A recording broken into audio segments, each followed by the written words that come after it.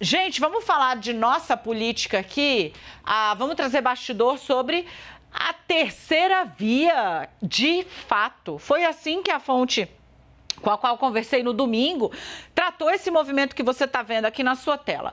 PP, PL e União Brasil estão discutindo a formação de uma federação, especialmente na Câmara dos Deputados, onde poderiam chegar a ter 123, de novo, PP, PL e União Brasil, federação, atuam como se fossem um partido só, podendo chegar a 123 deputados, jogando para um patamar ainda mais alto a força, o peso da negociação de Arthur Lira, em especial do PP, com Luiz Inácio Lula da Silva. Veja que no Senado o PP se diz oposição. Na Câmara, que é Arthur quem manda, tá lá na convivência amigável com o governo. Amigos peronou tanto, né? Porque querem ter peso, poder para influenciar, para pressionar e para puxar eventualmente para um lado ou para o outro o debate. Qual está sendo o grande empecilho aí? Dentro do União Brasil tem uma divisão profunda. Tem uma ala que acha que é bom fazer parte parte disso e tem outra ala que acha que de forma alguma que vai se perder aí no meio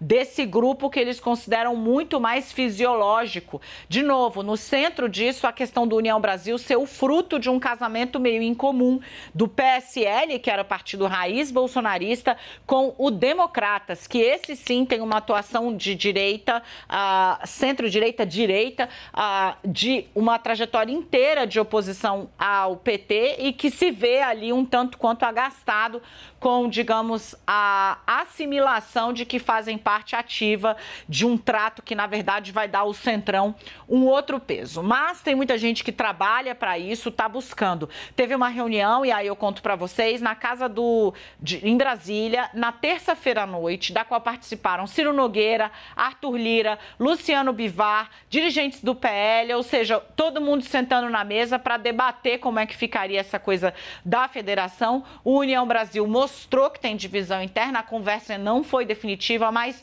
o que está na mesa aí é um custo mais alto para a governabilidade de Luiz Inácio Lula da Silva. Se essa federação sair, pode apostar, a forma como a negociação vai se dar, em especial com a Câmara, vai ser muito diferente.